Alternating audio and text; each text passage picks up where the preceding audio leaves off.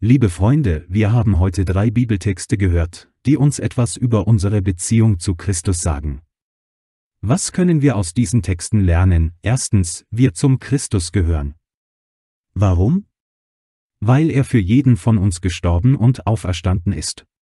Er ist der Herr über die Lebenden und die Toten und alles gehört ihm.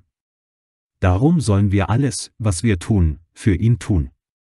Ob wir leben oder sterben, wir gehören zum Herrn. Was bedeutet das für unser Leben? Es bedeutet, dass wir ihm nachfolgen sollen, indem wir seinen Willen tun und seine Gebote halten.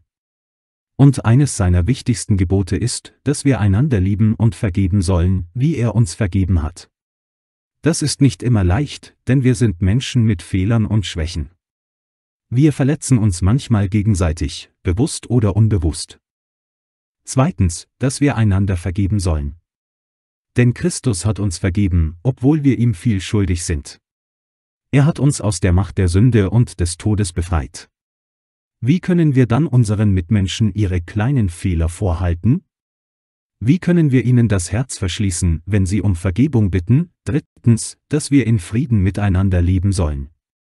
Denn Christus ist unser Friede.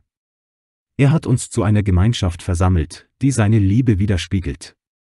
Er hat uns gelehrt, einander anzunehmen, wie er uns angenommen hat. Er hat uns gezeigt, wie wir einander dienen können, wie er uns gedient hat.